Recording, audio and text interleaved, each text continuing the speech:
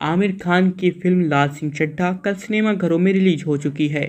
काफ़ी विरोध के बाद लोग आखिरकार इस फ़िल्म को देखने सिनेमाघरों में पहुँच रहे हैं। हालाँकि लाल सिंह चड्ढा और रक्षाबंधन थिएटरों में एक साथ रिलीज़ हुई है।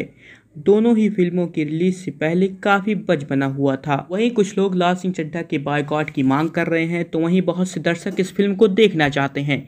रिलीज़ के बाद थिएटर में इस फ़िल्म को ज़बरदस्त रिस्पांस मिल रहा है। लाल सिंह चड्ढा ऑस्कर फ़िल्म जीतने वाली फॉरेस्ट गंप का हिंदी रीमेक है। हालाँकि जिन्होंने ओरिजिनल फ़िल्म देखी है, हो सकता है उन्हें ये फ़िल्म मूल फ़िल्म से बेहतर नज़र आए और अच्छी लगे।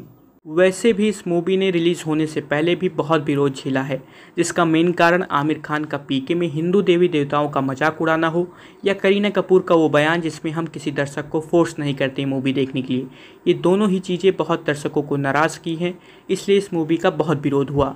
और भी कई कारण हैं वो बाद में जानेंगे। आज इस टॉपिक को बात कर रहे हैं, उस पर बात कर लें पहले। लेकिन बिना फ़िल्म को देखे उसका विरोध करना कहाँ तक जायज़ है? क्योंकि इस फ़िल्म को बिना देखे आप बायकॉट कर रहे हैं, इसका मेन कारण ये नहीं है। इसका मेन कारण यह है कि आमिर खान और करीना कपूर का जो बयान था, वो दर्शकों को नहीं अच्छा लगा। तो इस फ़िल्म को बिना देखे उसका विरोध न की हालाँकि फिर भी लोग बायकॉट लाल सिंह चड्ढा ट्रेंड करने पर जुटे हुए हैं। लाल सिंह चड्ढा के ज़रिए आमिर खान पूरे चार साल बाद बड़े पर्दे पर वापसी कर रहे हैं। एडवांस बुकिंग में तो इस फ़िल्म ने अक्षय कुमार की रक्षाबंधन को पछाड़ दिया था। वहीं लाल सिंह चड्ढा के पहले दिन के कलेक्शन की बात करें तो इस फ़िल्म ने रक्षाबंधन से बेहतर कारोबार किया है। अब तक आए आंकड़ों के मुताबिक इस फ़िल्म ने दस दशमलव दो करोड़ रुपए का कारोबार कर लिया है। हालाँकि फ़िल्म को लेकर जितनी उम्मीद की जा रही थी, उस हिसाब से कमाई उसके मुताबिक नहीं हुई है। हालाँकि लाल सिंह चड्ढा लॉन्ग वीकेंड पर रिलीज़ हुई है।